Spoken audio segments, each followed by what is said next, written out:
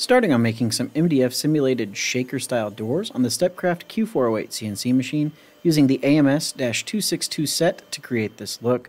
You can see we did that first panel without dust collection and the MDF creates a ton of dust, but with the dust boot on, even with my underpowered dust collector, it collects the majority of the dust and that makes it a much cleaner process.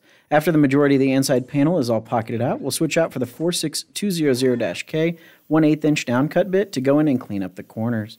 It makes a profile pass first, then comes back and cleans up that little bit left in the corner to leave a much smaller radius in those corners. You could stop there, but to create a more convincing 5-piece door look, I'll pick up the RC-1108 60 degree insert carbide V-bit.